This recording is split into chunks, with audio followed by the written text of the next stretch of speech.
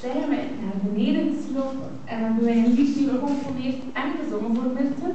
En omdat er per ongeluk een foutje was gebeurd in het sprongen, hadden we het echt heel graag opnieuw doen. En ook gewoon omdat we het graag zingen. Dus ja. Ja. Momentje. Ja. Het wordt echt door zes camera's opgenomen. Dan kunnen we dat mixen achteraf.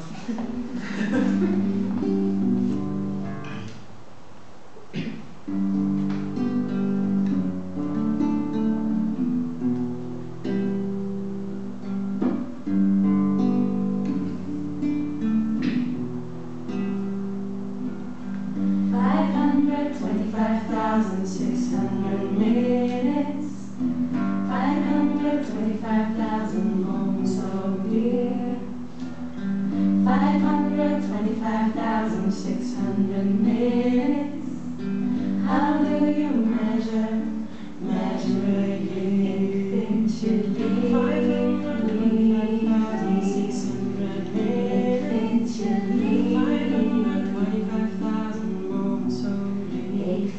to me.